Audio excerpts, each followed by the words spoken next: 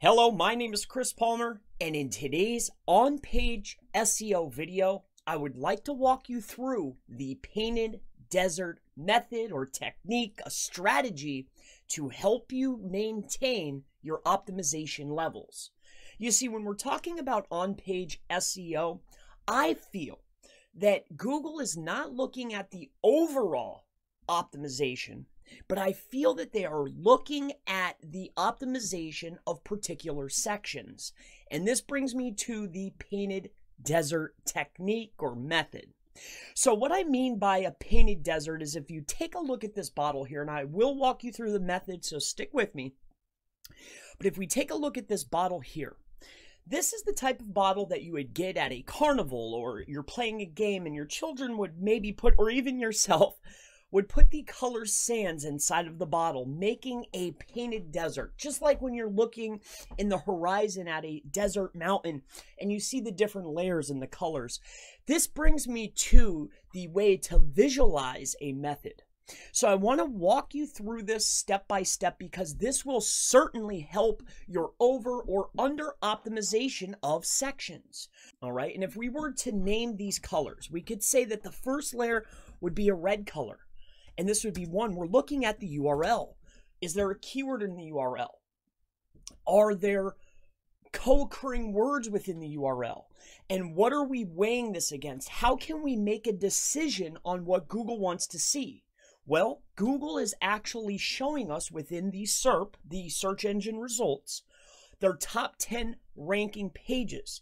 Now, they're either there for one of two reasons, or actually one of three reasons. It's either they're really strong with their on page, they're really strong with their off page, and where we want to be is strong with both. So once we hit that top position, we can maintain it. So the goal here is once we can take care of our technical, our speed, and our site, and all of those elements, we need to lock down our on page and we need to be optimized in every single section. And that's what I'm going to walk you through today. So you're not over and you're not under. So when we're looking at this, we're looking at okay, if the first layer of our painted desert is the URL, all right, is literally a section that needs to be optimized by itself. So we, we're looking at the optimization levels inside of our URL. We're then going to look and make sure, all right, we could say that this is yellow. This is the color, okay? I'm, I'm walking through a color and I'm going to number it, all right? If we're doing our URL, our next is the title, all right? How many words are in the title? What type of words are in the title? Are they used in exact? Are they just using partial? Are they using a co occurring or an LSI term? I like co occurrence more than LSI. I feel that those terms Uh, misunderstood. Okay. So I want to go to the next color. So we could say that that's going to be a purple. Okay. And this is also number three. If we're going down the list, the next one is the H1. So we're looking at an H1 tag. In between the H1 tags, we're looking at our paragraph text. We then go down because each of these articles are supporting. So we have our title, our main idea. We're going to start talking about our main idea in the H1. The H2 supports the H1. All right? We're, it's the same concept working its way down because if we talk about something else, that's a new page. Okay? So we're moving down here. We have our H3. And then we're looking at each and every single element as its own particular. See, from H1 with the body content, this section right here, this is purple, right? This is this is considered purple right here. So if I'm looking at this section here, okay, this matches with my H1 here. I have the con I have my H1 tag and I have my content.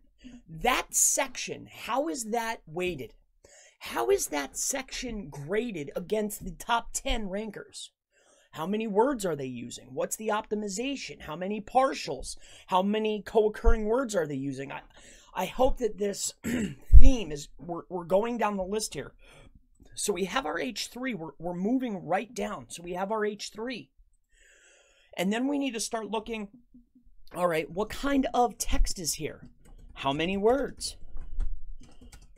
Is there co-occurring? Exact? partials. And, and that's the main concept of this page. I, I want to go back up to the top because to give an understanding, and, and this is the point that I really want to make that I hope can help you with your over and your under optimization of a page, we need to not look at the entire page as one conglomerate but we need to look at each section individually. I mean, we're getting down to very minuscule amounts of optimization, each tweak to win in 2020. We need the optimization levels to be at peak performance. Every single page, all pages, every word, every piece, smallest detail. That's what it takes. This is going to help you if you can look at a page and see, okay, here's my title. Here's my URL. Here's my H1 and my body content. If we're looking at each of these sections, all right, we're moving down. Okay, in these words, what's the optimization level? Okay, I could see that uh, the heading tag 2 is this. I could see that it's this long. I could see that they're using bolds. Each of these elements are weighed differently. Now we're looking at our H4, and then we're looking at more content. So it's content as we're as we're going down the page are they using an h5 are they using an h6 how many are they using right each tag each element each piece of text is its own standalone entity that's exactly what the painted desert method is all about it's understanding that a page is broken down into sections we're also looking at optimization levels of are there forms on the page are there lists and how many? Optimizations as far as images, how many? And then when we're looking at the images, not only are we looking at how many, we also need to understand is the alt text. That's what we're looking at when we're talking about optimization. We can even go down, we can go even more granular. Are they using videos? We're looking at each and every single element. Our URL is its own section. Our H1 in that body content is a section. The H2 with the content is a section. The H3. And inside of those elements, are there images? How many? What's the alt text? Are there lists inside of those elements? Where are the elements placed on the page? Are they using hidden elements? Are they putting keywords inside of a div tag? Are they what are they doing? We also need to look at and this is important, the anchor text on the page. Where is it going? Is it partial? Is it exact? This is another optimization that needs to be looked at. Looking at this bottle, if we start weighing each section by itself. So I hope that this has helped you with your over and under optimization levels. My name is Christopher Palmer.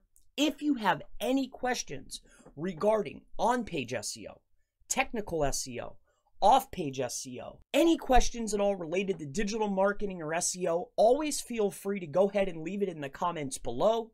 And I look forward to seeing you in the next on page SEO video. Have a wonderful day.